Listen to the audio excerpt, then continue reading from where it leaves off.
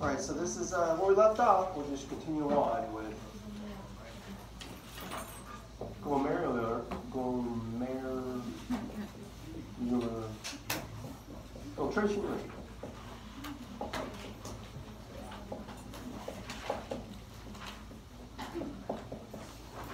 Uh, GFR for short.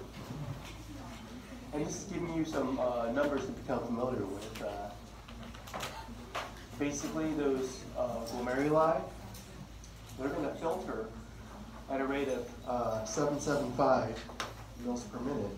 And um, of all that that they receive, that 775, they filter through 125.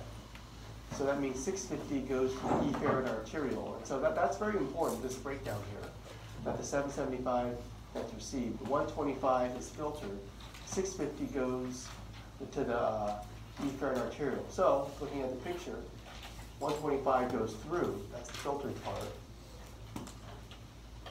650 goes to the efferent arteriole, to the peritubular capillaries or the vasa recta, and that's important for the other functions reabsorption, secretion. So what I want to focus on now is that 125 mils per minute. Um, that's the normal rate, and we calculated the pressure that generates that filtration rate, the net filtration pressure being about 10. So changes in GFR, they normally result from changes in uh, glomerular blood pressure, but the, the take-home point is you want to keep that at a steady state level. Okay, and so that, that's really the physiology here. How does the kidney, how is it able to maintain a filtration rate so that you can maintain this filtration rate here, so you can maintain a constant urine formation rate of about one mil per minute. And you want to keep it around 125. You don't want to get it too high or too low because if it's too high, if you're filtering too much too fast, the cells in the nephron they won't have time to do their job. In other words, needed substances that you need to conserve, they, they can't be reabsorbed quickly enough. So you, you lose it to the urine. Because in the end, it's just cells with proteins working at a certain rate, and they can only work so fast. So if the flow through past the tube is too fast, it just goes right on by and you lose it to the urine. Now, if GFR is too low, you might reabsorb things you don't want. You have too much time to reabsorb, like waste products that you normally dispose of. So you kind of have to regulate the GFR at about 125 mils per minute. And, and the mechanism is twofold. It's, uh, it's, it could be um, intrinsic or extrinsic. So the intrinsic pathway I'm going to teach first. It means that you don't need some kind of nerve or hormone to make it work. It all happens within the nephron. Okay. The GFR is able to make remained relatively constant, 125 mils per minute, despite large changes in blood pressure. So the first concept to understand is if blood pressure gets too high, you would think that the GFR should increase with it. It doesn't. If blood pressure drops, you would think the filtration rate would drop, but it doesn't. It's able to maintain a pretty steady 125 per minute. And you plot that against blood pressure. This is the data graph that's usually shown. It's not in my slides, but for example, the numbers are range between 200 and 80 BP, millimeters of mercury. Within that wide range, you don't really see GFR change too much. It's almost a flat line. Once you get past 200, it starts to, you just kind of lose control. And once it drops below 80, it starts to drop off. But within this wide range of blood pressure, kidneys are able to maintain 125 mils per minute. Okay, so the mechanisms of how it does that is what I want you to understand. So one way is autoregulatory, the other way is hormonal. And so the first way is um,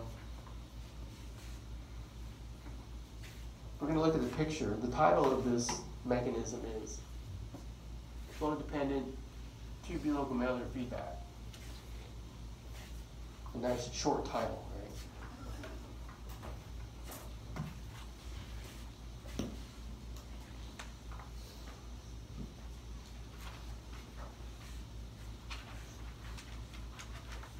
So we call this like um, an intrinsic auto, au- auto-regulatory, it self-regulates, okay?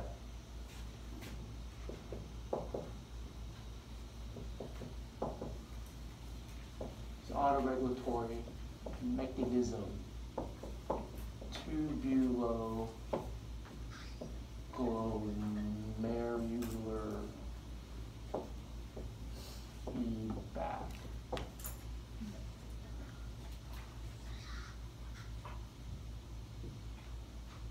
And try to understand in terms of tubulo and glomerular. Tube and glomerulus, they're just talking to each other. And you see that at the end there. Well, you don't see it yet. Let me go through the stats. All right, so what they have here, I'll just follow the steps. Let's say you can have an imbalance either way. GFR can get too high or too low. No, they, they go with GFR is too high. So maybe for whatever reason, blood pressure is elevated and the imbalance is number one. You have an elevated GFR, and you remember, you don't want that. It's, you lose things to the urine. And so what you do is, what you observe is, if the GFR is too high, flow through the tube is increasing.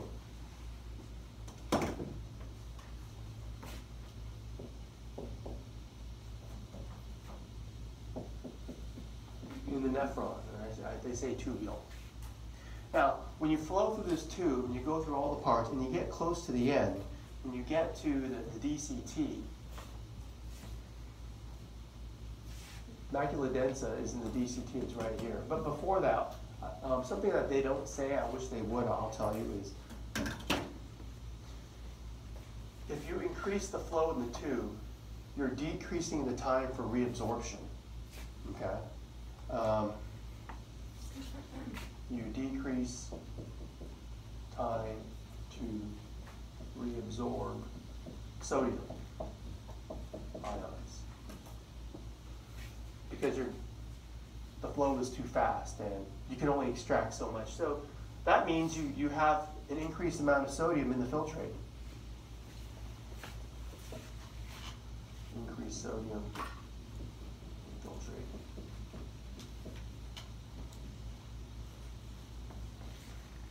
So when you get to number three,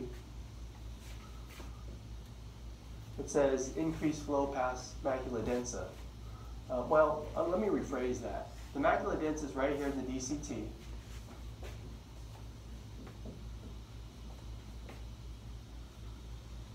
You should know that the, the macula densa is, is the name for a special group of cells in the DCT. They detect salt levels. They're actually osmoreceptors. We call them.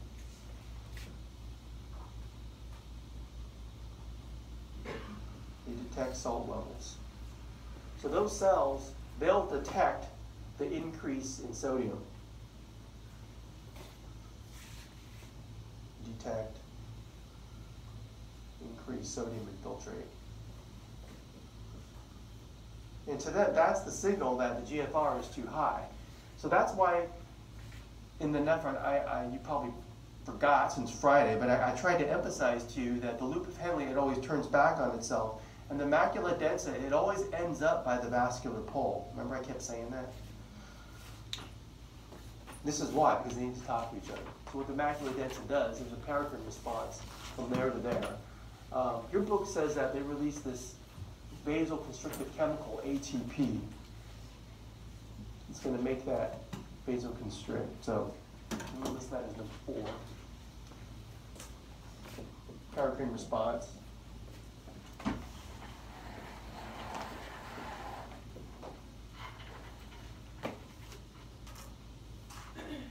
Communicate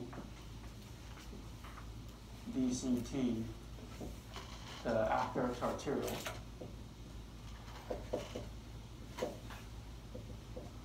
And that vasoconstrictive chemical, your book says it's ATP. So make a note to yourself, vasoconstrictive. Do you remember what that means? If a molecule makes an arteriole vasoconstrict? Well, let's continue on. We list that step as number five. So I'll put number five here. It's the vasoconstrictive event. And then after it says increased resistance, decreased pressure in glomerulus, decreased GFR. So that, that's the thinking. And hopefully that makes sense to you because we already had a lecture on blood pressure and all that. Increase capital R. Decrease pressure in glomerulus, that's how I'll phrase it. Decrease G, F, R. That's the end.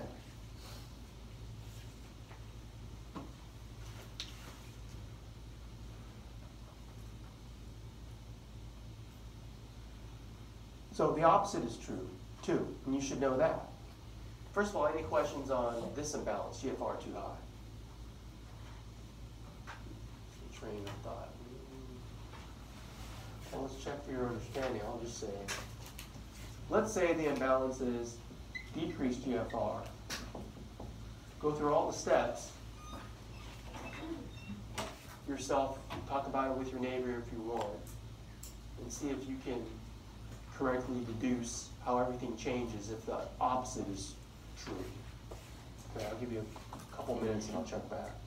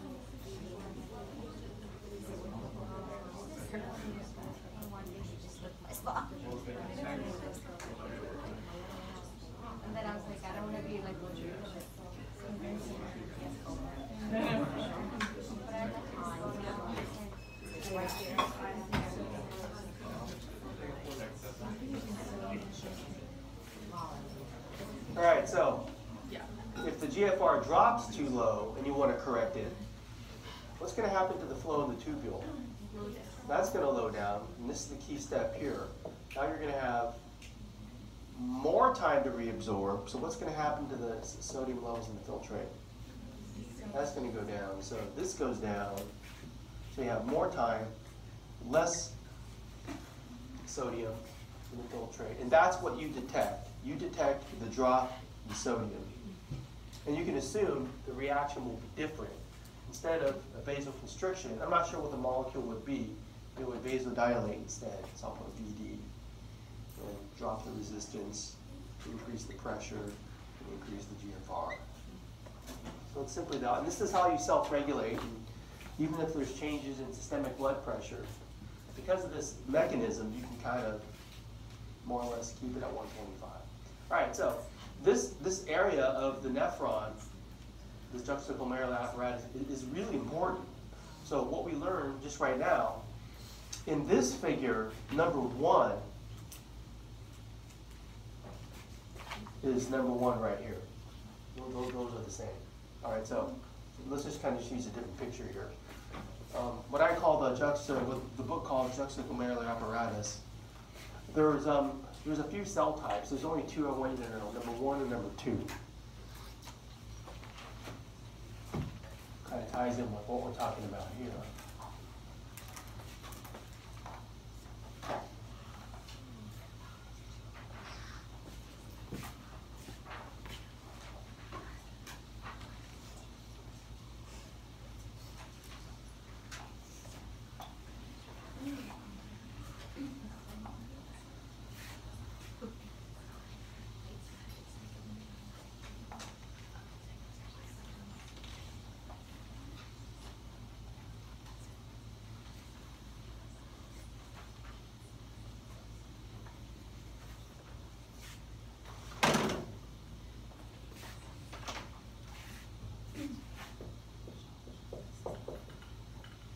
Juxtaglomerular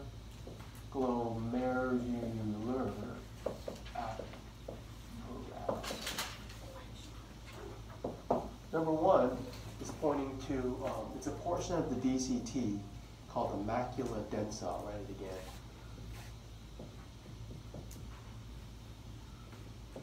It's part of the DCT, but it's a specific part. It's the part that's by the vascular pole, correct? That's where you look for it. Now, what I said just right now, is it's osmoreceptor.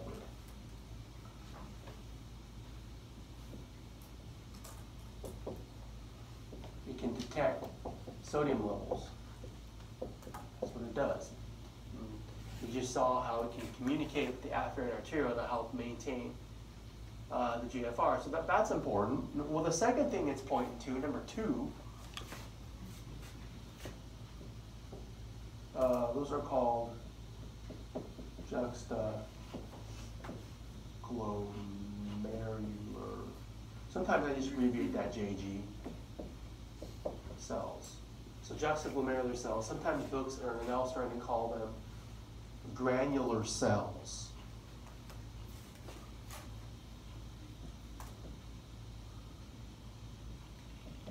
Because the granules contain renin. These cells have renin. They can release renin. They got it. Now, renin, well, let's just say that these cells, they act as a baroreceptor, and they may or may not release renin in response. These cells are specialized, smooth muscle cells of afferent arteriole.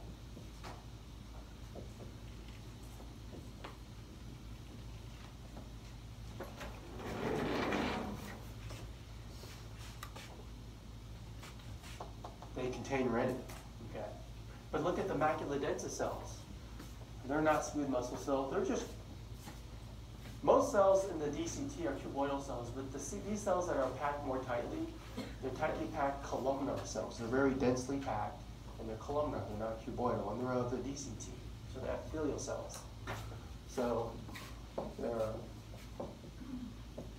columnar epithelial tissue cells. So no, there, there's a difference between these two cell types. But you could say that um, because they kind of live in the wall of an arteriole, these act as a baroreceptor.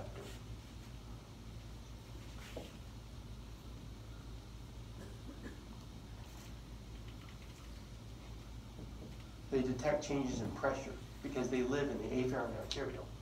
It's very different functions. So the JG cells act as baroreceptors, but the macula densa cells act as osmoreceptors, and they do work together uh, to help maintain blood pressure.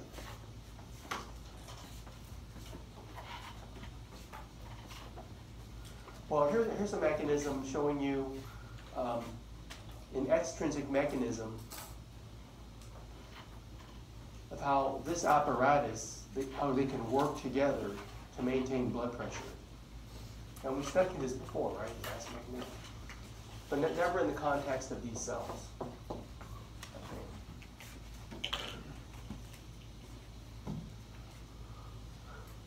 So I got this image from one of my uh, histology books. I know it's too small to see there, so I kind of outlined it. Um, just to remind you of the RAS mechanism. So where I'm going with this is uh, one mechanism intrinsic, one mechanism extrinsic. This is the extrinsic mechanism of how uh, the nephron can maintain blood pressure.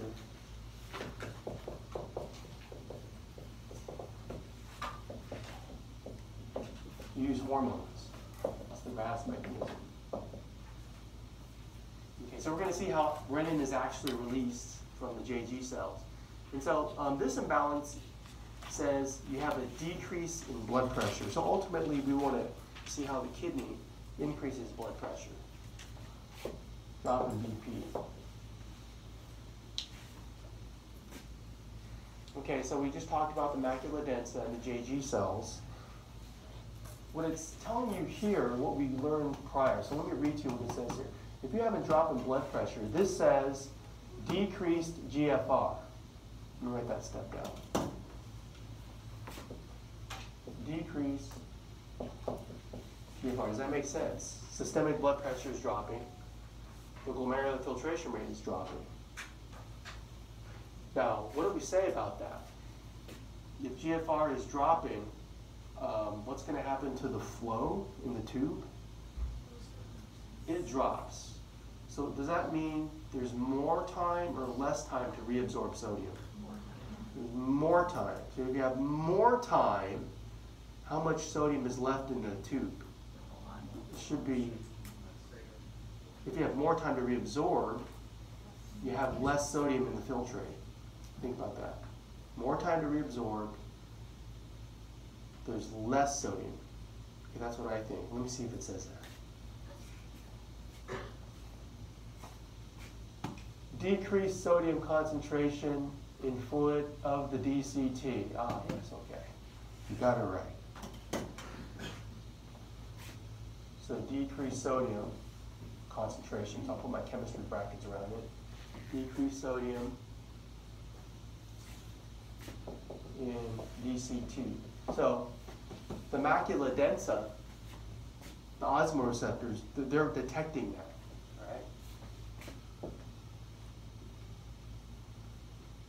Macula densa detects this decrease in sodium concentration. That's why I put a box around it. And then I put a box around uh, the JG cells. Then you, get renin release. So um, what's little misleading is they put an arrow both from macula densa and JG cells for the renin release. However, which cells actually literally release the renin? The ones that got it, the JG cells. So let me put it that way. Well, let's just say the macula densa, there's some cell communication with the JG cells. I mean, they work together for the renin to be released, but the JG cells actually have the renin and secrete it. So I'll put that as the next step over here.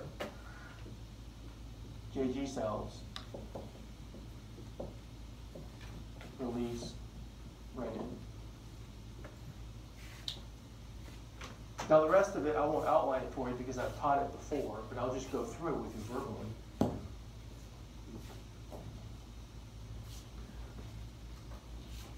Renin is released, and in the blood, it'll cleave the angiotensinogen into angiotensin 1. And there's a converting enzyme in the lungs that converts it to angiotensin 2. And I, and I still want you to know the two things angiotensin 2 does. One, it's going to target the adrenal cortex. Angiotensin 2, adrenal cortex release uh, from the um, adrenal cortex releases aldosterone. And then you have increased sodium uptake from DCT, um, and then water will follow. Okay, that's what it says in this slide. Maybe you do need to know that. I don't want to go too fast. I expect you to know that. I'll just abbreviate it. ANG, it cleaves that, and it becomes ANG1, ANG2, because of ACE. And ANG2, a couple of things. Adrenal, um, adrenal cortex.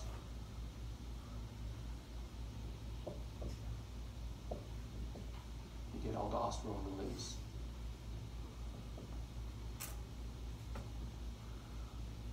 Increased sodium. Um, reabsorption. I'll just put REAE and water follows. So what I taught you a long time ago, I hope you still remember, this mechanism, you're increasing the blood pressure by increasing the blood volume. So let me write that down. So for the aldosterone mechanism, what that does is you increase BP by increase blood volume. I taught that to you a long time ago. Um, you still gotta know that for this test. The other thing it's saying is vasoconstrictor arterioles.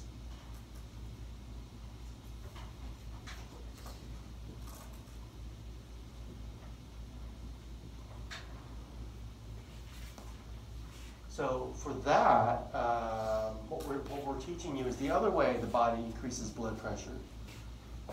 You increase BP, but you're, you're increasing capital R resistance. All right, that's the other thing I taught you. By keeping more blood in the arteries, systemic blood pressure increases. Okay, so th- those are the two things accomplished by aldosterone that help correct the imbalance there. Okay, so that, that's kind of the rest of the outline. All right, so um, let's look at some models and talk about the histology of this uh, renal corpuscle here. If they show you a picture like this, and where are all the things I could possibly ask? Let's just go straight identification. You know what it is. If I point to those red things, what would you call it? Right here? What think? I would just say glomerular capillaries. I. What if I point, you got these two tubes up here, this tube and that tube. Now, they're arterioles. Is this afferent or efferent? This one is the afferent, that one's the efferent. Now, they cut open to show you special cells. So what if I point to one of these special cells? They're going for the JG cells, you know, or granular cells. Um, that's gonna be macula densa there. That's the efferent arteriole, those glomerular capillaries. They show you uh, both layers of the Bowman's capsule. You have parietal and visceral. Which one's that? Parietal. And you see how this layer on top of the capillaries, the purple thing? Visceral. They even show you cell types. Podocyte, podocytes. Okay, so um, there's the vascular pole. Remember what we call this pole? It's the tubular pole. Literally, it's the PCT. There, there it is labeled. Uh, okay. Well, what? Is macula densa good enough to identify that, or is it macula densa but distal? I think macula densa is sufficient. They call it juxtaglomerular apparatus, but that's not sufficient because you know the names of these two things. Yeah. So the cell type is podocyte, but the layer is visceral layer of Bowman's capsule. Okay, that's cool. They even show you the little brush border of the PCT cells. So yeah, that's, that's good. Here, here's another. They're all they all look the same to me. Um, what's that cell type? Podocyte. It's the visceral layer of the Bowman's capsule, parietal layer. But you see those like little slits? You should be able to name the slits. Filtration slits. Glomerular capillary. Um, is that afferent or efferent? The afferent. They always like to show you the JG cells here. And that's where the macula densa would be of the DCT. Okay, so don't call it DCT, call it macula densa when you're in this area. Uh, that's always what I'm going to be going for. Here's a different one. The afferent and the efferent are labeled there, so you can kind of see. Um, do you see how, I don't know if you can see, like, there's these spindle-shaped cells, but then there's cells that are kind of, I don't know what shape that is. They're showing you two different cell types. The normal smooth muscle cells are these red ones, but the specialized ones are all those other ones, shaped like that. And the efferent arteriole is there. And um, they do a good job of stripping away the visceral layer so you can see the glomerular capillaries. But I guess that color is supposed to represent the visceral layer. And then they show you the cell type, uh, which is a podocyte. I mean, what if I just wanted to point to one of those white lines?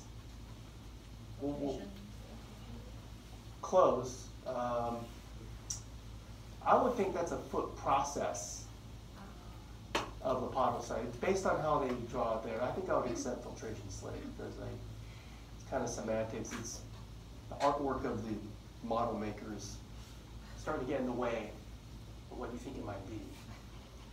Uh, okay, so that's enough of that area of the nephron. I want to move on to the PCT, the proximal convoluted tubule. Uh, so filter, This is the most extensive tube of the nephron. And if you look at it in cross section, kind of the beginning, the end, the DCT is towards the end, these cells do more of the work because they're first. Okay, right? They come right after the, the glomerulus. And the cells have a more extensive cytoplasm, there's more mitochondria, they have a more extensive brush border. These cuboidal cells are uh, smaller, and there's just not much left to absorb. Okay. So your PCT cells are your most active reabsorbers.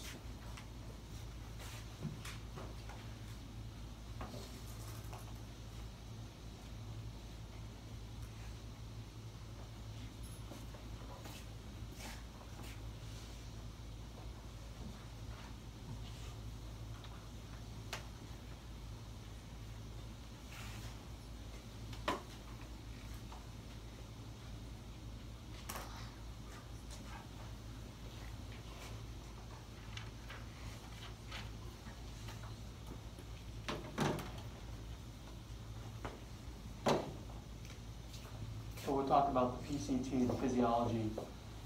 I'll focus on their function as a reabsorber, so they're, they're your most active reabsorbers.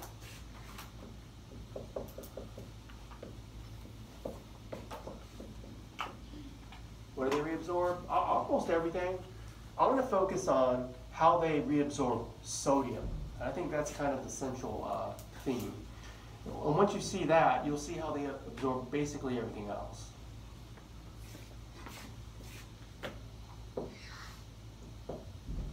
Focus on sodium ion reabsorption. Come back to the DCT and, uh, well, an analogy for the reabsorption is given here. Um, I've heard this a lot. It's called the ferry analogy, where it's like if you want to remove something from the filtrate and conserve it by putting it in the blood. Imagine you have these ferries, these little molecules that carry something across. I mean, this is obviously is not how it really works, but the analogy is, um, let's say you're euglycemic. That means your blood sugar is not too high. Glucose reabsorption, we're using that as an example here, not sodium. Um, if you have low enough blood sugar, you have plenty of time for transport. There's plenty of ferries to take 100% of the sugar back to the blood, so you should have zero in the urine. However, let's say you down a big bottle of Coke, your blood sugar spikes, and it's all filtered. That means you're not you're going to run out of your little ferry carriers, your little glucose carriers. So that means you're going to saturate, you're, you're going to max it out, okay? And that means you might have some sugar in the urine, urine because your blood level is hyperglycemic. There's not enough transport time. So what I'm trying to teach you is that um, these cells have molecules that have rate limits.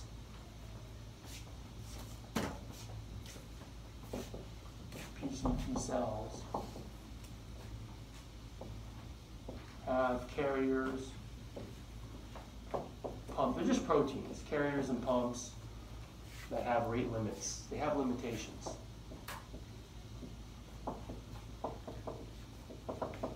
You can only work so fast, and if you just have too much in your bloodstream, you just can't. Reabsorb it all, and you'll lose some to the urine. Well, and so the idea of reabsorption is you have to remove it from the filtrate and put it in the blood. I did define it before that way. Um, when you study the uh, kidney, I noticed these figures they use a lot. I think they're very useful to look at. So the overall um, organization here. Let me erase this.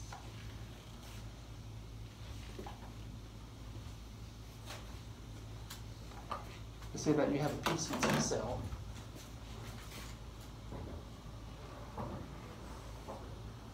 Uh, I'm gonna leave some space and draw some molecules.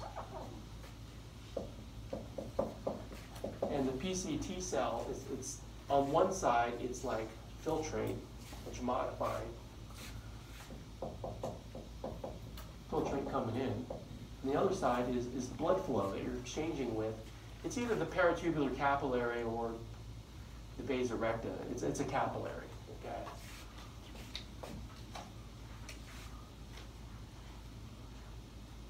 I don't know, let, let's say it's a,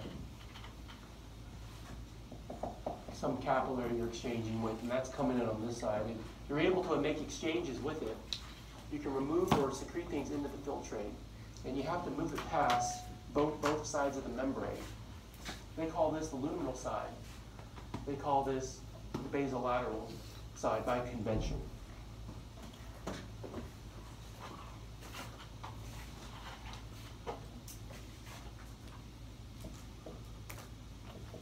luminal membrane.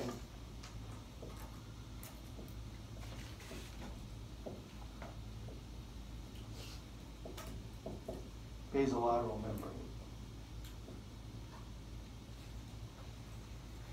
So to get out of the filtrate, move it through both sides of the cell and get it into the bloodstream.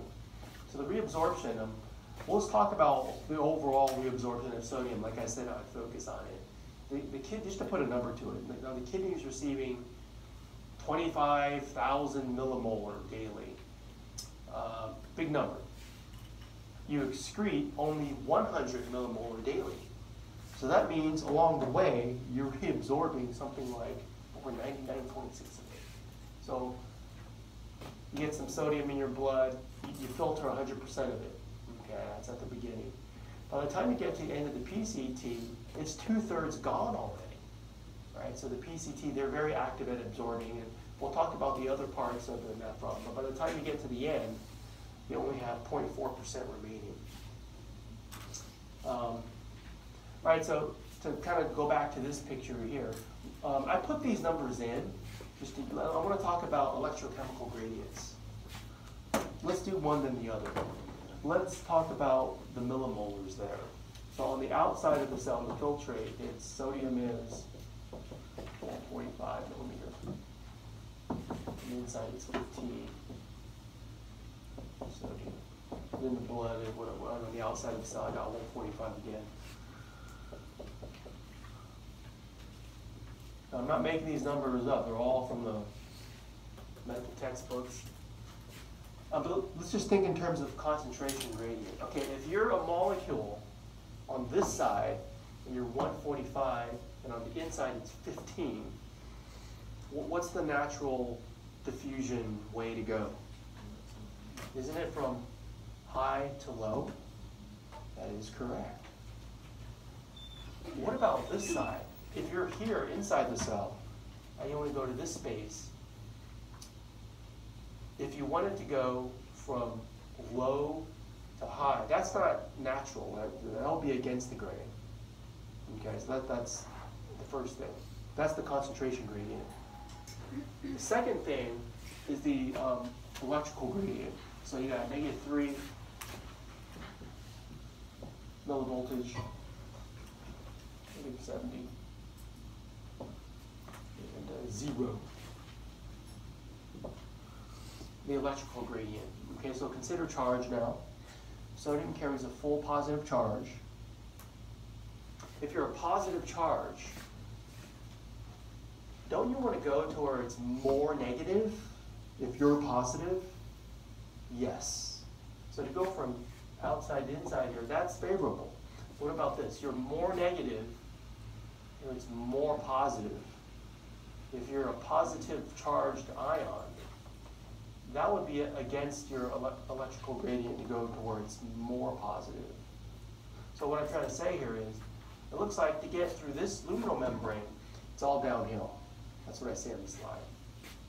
Quote unquote. Downhill. Right? Because you're, you're following your natural electrical chemical gradient. But you get past this side, it's uphill. You're going against the grain. So that's why I put those numbers in.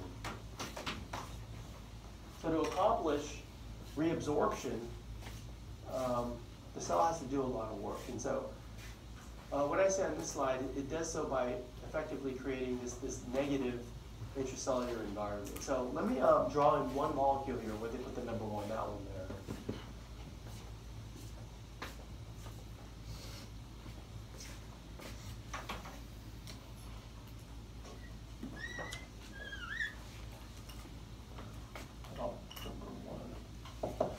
Sodium potassium ATPase pump. And look where it is. It's in the basolateral membrane. Sodium, potassium. It's in the basolateral membrane. Basolateral. Same one you talked about before. It's an exchanger. It's um, pumping out sodium and for in exchange for potassium. Okay. It's a three to two ratio. Pumping out sodium, pumping in potassium. At a three to two ratio, I didn't write that, but look at the potassium. The potassium leaves through its leak channels. I didn't draw a leak channel in, but I'll just kind of draw it escaping. So by pumping out sodium, you're making the concentration of sodium low. And by pumping out a positive ion, and the positive ion you're exchanging it for, then escaping, you're also making the environment very negative. So that's a very important action right there.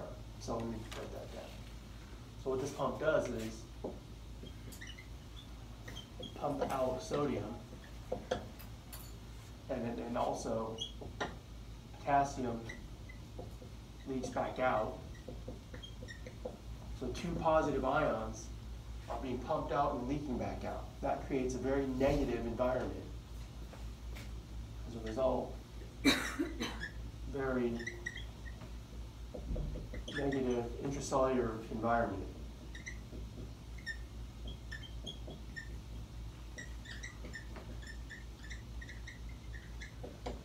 And they put a number to it. That number should look familiar to you. Those that have passed 430. What did you, um, well, we talked about it in terms of the neuron, the resting membrane potential, remember that? That's the same molecule we talked about too. It's in the kidney as well. Well, anyways, that's where that comes from. Well, and also by pumping out sodium, you're making sodium concentrate, sodium concentration levels low. Low sodium. That's great. So you're making it so on the other membrane, it's down. You create that downhill effect on the other side, right? That's, that's where I'm going with this. Now, did this need to burn ATP? That's a yes no question. I'm going to make you answer it. Don't be like a politician and not answer it. What do you think, yes or no? It is yes. The cell does very hard work to create this environment here, these arrows here. Okay, that's why it's called the ATPase pump. You're already supposed to know that. Now the figure tells you that as well. The solid red indicate primary active transport. You're supposed to know that means you're metabolizing ATP. Cells only use their ATP for very important things. And what this allows is, it allows for this downhill effect on the other side. So the name of this molecule is, is a sodium cotransporter. Just to use a different color.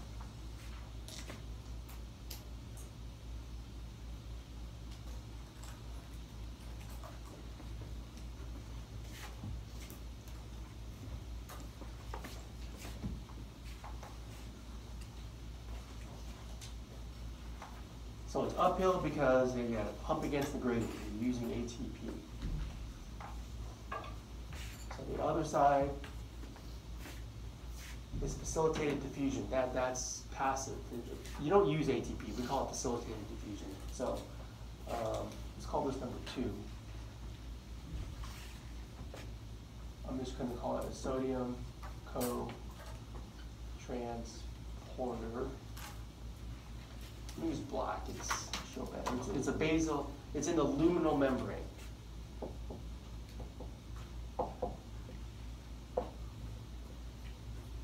It executes what we call, um, it's a secondary active transporter. It's facilitated diffusion.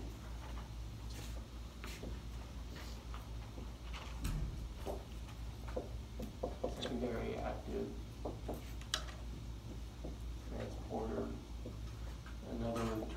facilitated diffusion. These are all kind of things we teach in four thirty. Primary, secondary active transport, facilitated diffusion. We ask this, yes, no question. Does this molecule metabolize ATP? No, but it does depend on the first one to do it for it. Okay. All right, so um, what it's doing is sodium is just going to flow down its concentration gradient.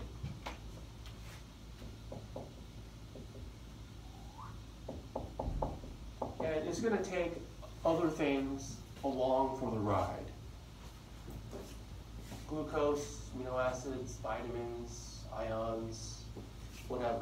Let's say glucose as an example. Here's my little glucose molecule. It's going to go along for the ride. So that's co-transport, where two things are transported in the same direction across the cell membrane, okay, which normally wouldn't diffuse across the cell membrane. They can't get through. Now, glucose is such a thing. By doing this co-transport, by utilizing co-transporters,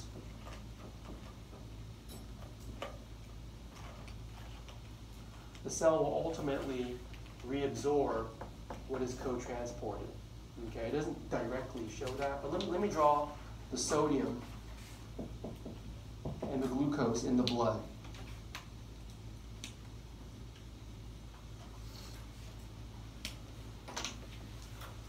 By utilizing, by utilizing co-transporters, PCT cells reabsorb sodium and other wanted substances.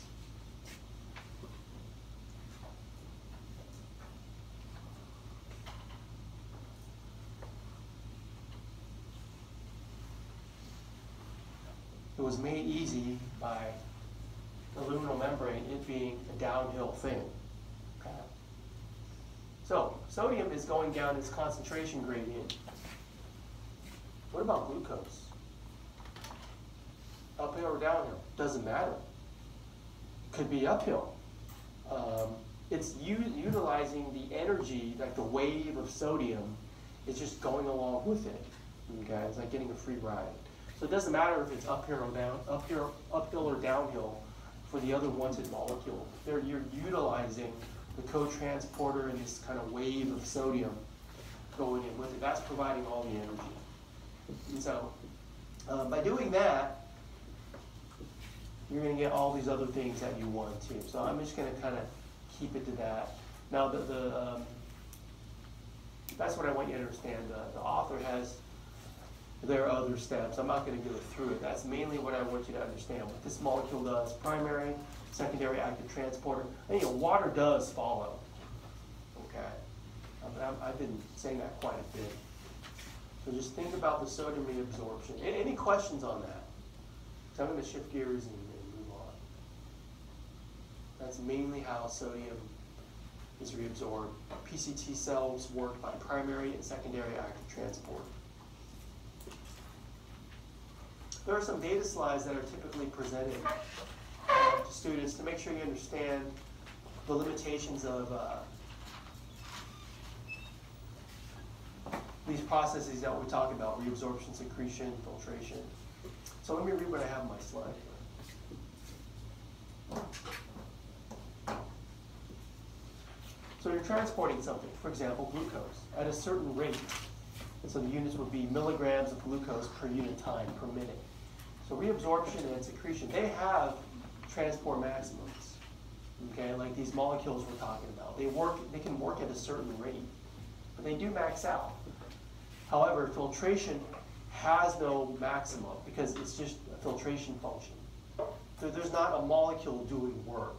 Okay, so let me write that down. I didn't write that down yet. Clear the board.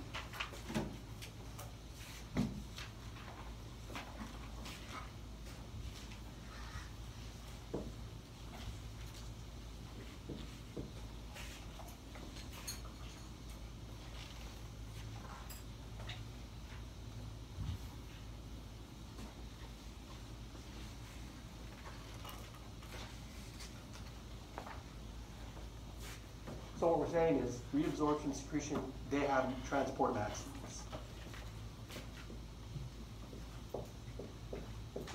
And of those two, I'm just gonna talk about reabsorption in my example. Okay, so that has TM is transport maximum. Filtration, no maximum.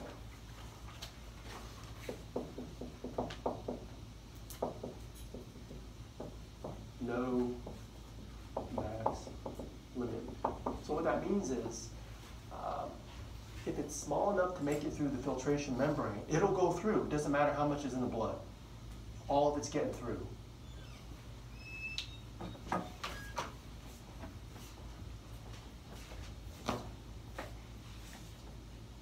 So, these processes um, depend upon a finite number of pumps and carriers. So the processes, we're going to talk about just one, reabsorption. When they reach their transport capacity, you've reached saturation or the transport maximum for that substance. So here, here's a figure that kind of shows that. The two terms are saturation and renal threshold, referring to these terms here. Saturation. That term means, eh, it's different for different chapters, right? Saturation meant one thing for hemoglobin, means another thing for the kidney. It refers to the maximum rate of transport that occurs when all the available carriers are occupied. So they're all working at their max rate.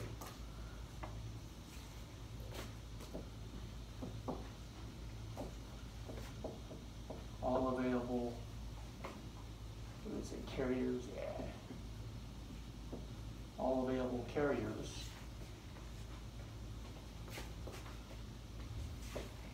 are working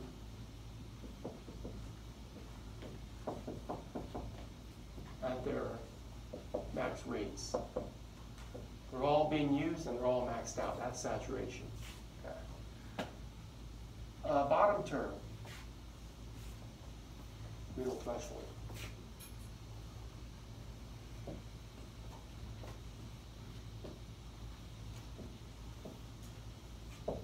Renal threshold is the plasma concentration of the substrate, for example, glucose, at which, is, at which saturation occurs. So, the key thing is it's a plasma concentration, it's a blood level. A plasma concentration at which saturation occurs.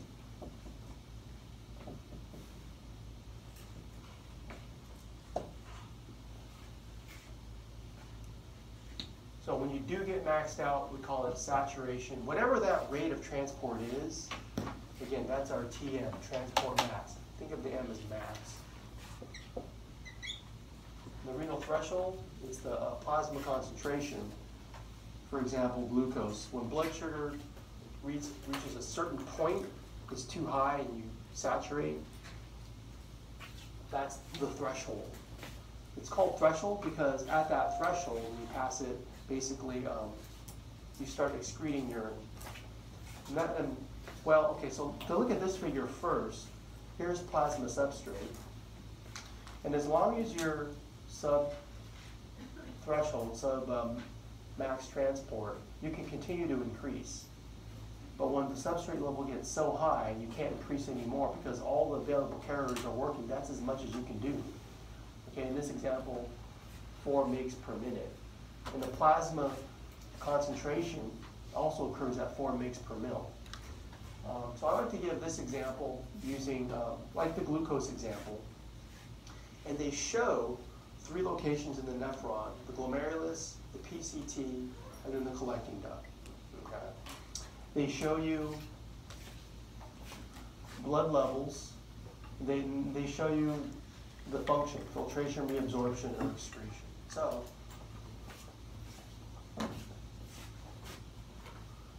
let's this. It helps to kind of see this in a picture form.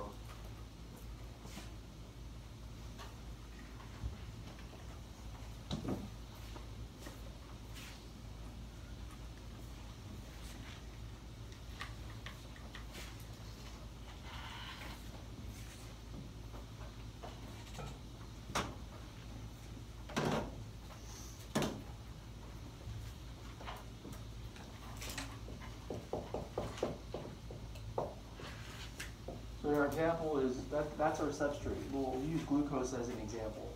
And, um, so we'll go glomerulus. There's our afferent arteriole going to a glomerulus. And the afferent arteriole going out. So afferent going in, efferent going out, but this is associated with, I'll draw kind of a mini nephron here, let's see here, uh, how about Jim Bowman's capsule.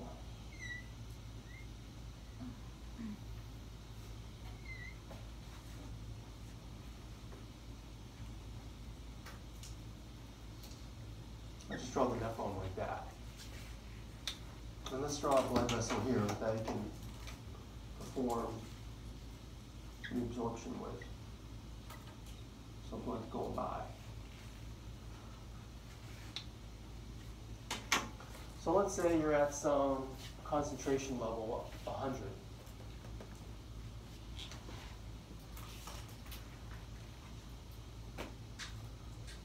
One hundred meg per deciliter. Okay, so let's say here's the glucose, these little green balls. They're going into afferent arteriole, and they're all filtered.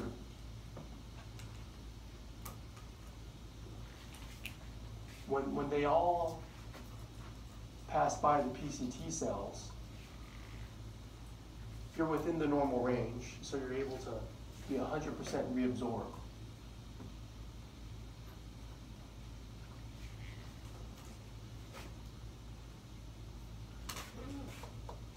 How much is excreted here at the end?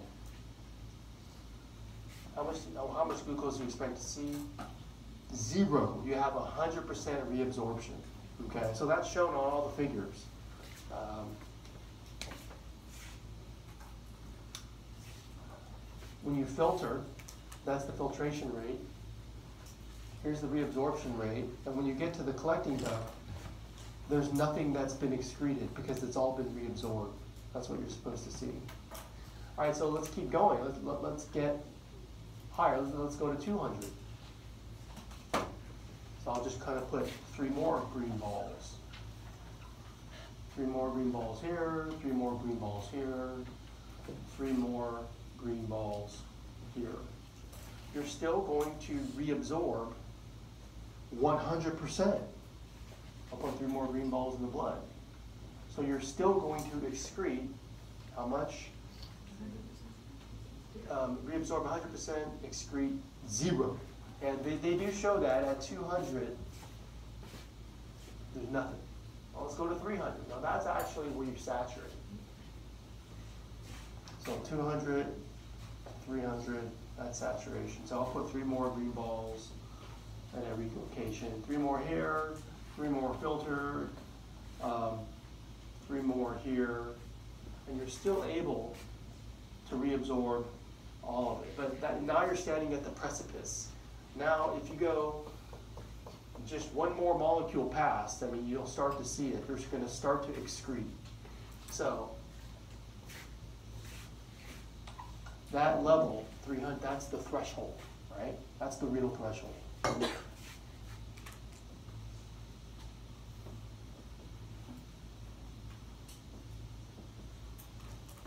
So, if you were to go to 400, I guess, go past the threshold, put three more balls there, three more coming in, are you going to filter it? Yes. Filtration has no max. That's why this line keeps going up. Right? That's how you see that. If it's in there, it's going to be filtered. The question becomes, you know, what happens here? Well, see how this flatlines? It's not going to increase. It's going to flatline.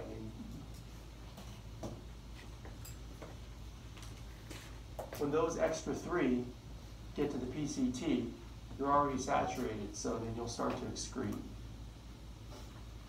when you pass threshold, okay?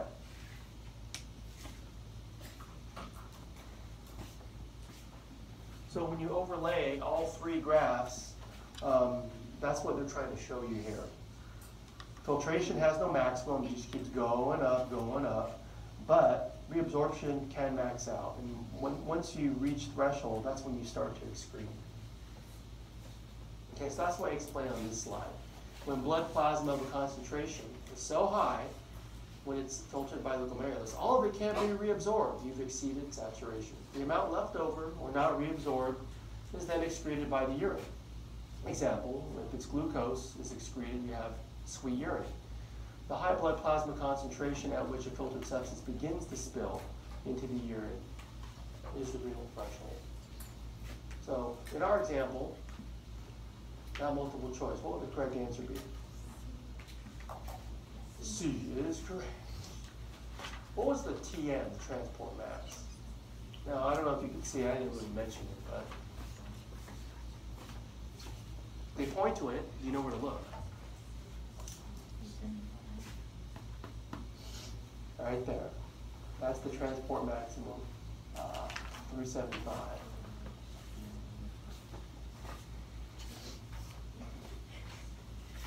Here's one that's commonly missed.